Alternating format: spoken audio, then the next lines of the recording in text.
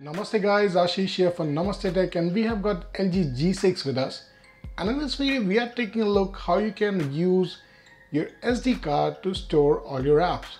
Well, LG G6 has enough storage space you can live with, but if you have a micro SD card, which is kind of habit for you to have everything there, and for some reason you want to move your apps on the SD card to save some storage on internal storage, this is how you do it.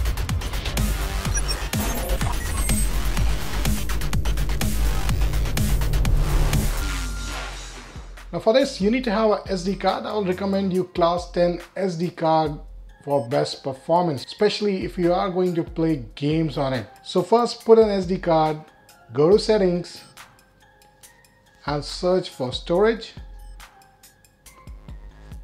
When you are here, you will have your SD card mounted like away like this. Tap on this, depending on if you have used it before. What I'll suggest is go and format this SD card. So you can go to storage settings and use the option of formatting. So when you are starting with your phone, it's fresh. That said, once you are done with all this and you have space, clear space on your SD card, go to settings and look for apps. This will list down all the apps you have installed on your phone. Once you're here, select storage and then you will have an option of storage use and an option to change. Now right now it's on internal storage. You can tap on change and select as SD card. Once you're here, you get a screen like this which says move and app name. Now here right now it's move AdSense.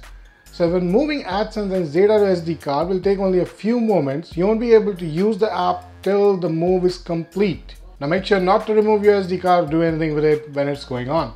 So say move and the process is quick depends on your app size as well and the amount of data app have stored on internal storage. If you want to change back to internal storage, you can always select this.